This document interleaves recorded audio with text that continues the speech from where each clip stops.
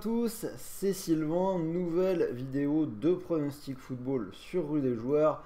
Aujourd'hui, je vais vous proposer un combiné avec une cote quasiment à 10 sur les matchs de ce week-end. Donc restez bien à l'écoute jusqu'à la fin de cette vidéo. D'ailleurs, n'oubliez pas de vous abonner à la chaîne. Vous trouverez déjà sur la chaîne euh, la vidéo avec tous les matchs de Ligue 1 analysés. Si vous ne voulez rien rater de tout ce que l'on propose, je vous invite à activer la cloche de YouTube.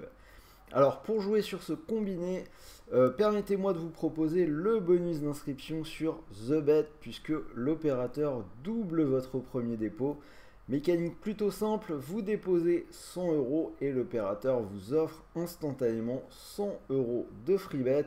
Vous démarrez donc dans les paris avec une bankroll de 200 euros. Petit rappel quand même, les free bets ce sont des crédits de jeu non retirables. Le lien pour rejoindre The Bet est bien évidemment dans la description de cette vidéo. Vous n'oubliez pas le code promo qui est en haut à gauche de votre écran, x2 RDJ. Et on en reparle tout à l'heure avec mon ticket. En attendant, c'est parti pour le combiné. Et les trois matchs que j'ai choisis, on commence en Angleterre avec la rencontre entre Newcastle et Manchester United. Grosse affiche entre le cinquième de Première Ligue et le troisième. Newcastle a connu une période assez difficile au mois de février, 5 matchs sans victoire, dont 3 défaites, mais ils ont remporté les deux derniers avant la trêve internationale.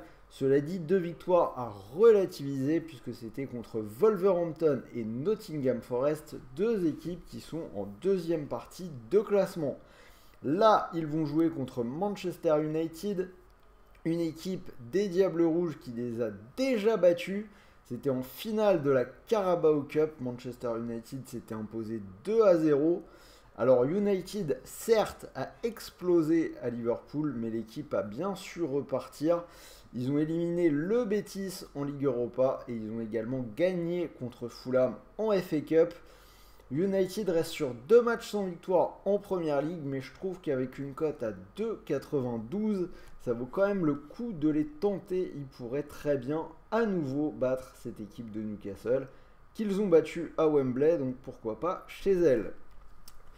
Les deux autres matchs, on va partir en Allemagne, la Bundesliga, et on commence avec Fribourg-Hertha Berlin. C'est bien simple, le Hertha a perdu ses 8 derniers déplacements en Bundesliga. Pire encore, ils ont pris au moins 3 buts lors des 5 derniers, alors que de son côté, Fribourg n'a perdu qu'une seule fois à la maison en Bundesliga, c'était contre Dortmund. Certes, ils ont aussi perdu contre la Juventus en Ligue Europa, mais pour le reste, ils sont plutôt irréprochables sur leur pelouse. Je vais donc leur donner la victoire à une cote de 1,65. Et on finit toujours en Allemagne l'Union Berlin contre Stuttgart. Stuttgart est dernier et compte tout simplement zéro victoire à l'extérieur en Bundesliga cette saison. Il se déplace à l'Union, l'Union qui malgré une baisse de régime ces dernières semaines est toujours invaincu en championnat sur sa pelouse. Lors de la dernière réception, ils l'ont emporté contre Francfort. Pour moi, ils devraient donc enchaîner avec une nouvelle victoire chez eux contre la Lanterne Rouge. Donc victoire de l'Union Berlin, c'est plutôt bien coté puisque c'est à 2. Donc si vous combinez ces trois matchs, ça nous fait une cote totale à 9,64. Je vous affiche le ticket. Et je vous rappelle que vous pouvez profiter du bonus d'inscription The Bet, 100 euros remboursés, non pas 100 euros remboursés en free bet, premier pari doublé plutôt. Euh, donc vous déposez 100 euros et l'opérateur vous offre 100 euros de free bet, à ne pas confondre avec d'autres bonus comme je viens de le faire. Donc si vous mettez vos 100 euros sur la cote à 9,64 et que le pari venait à passer, vous pourriez remporter 964 euros. Et si le pari ne passe pas, rappelez-vous que vous récupérez les 100 euros de free bet, crédit de jeu non retirable pour continuer de jouer. Dernier petit mot, les paris sportifs sont interdits aux personnes mineures et même pour tous les autres, pensez vraiment à jouer en fonction de vos moyens les paris sportifs devront rester un loisir. Dites-moi dans les commentaires ce que vous pensez de ce combiné. Dites-moi si vous pensez que ça peut passer.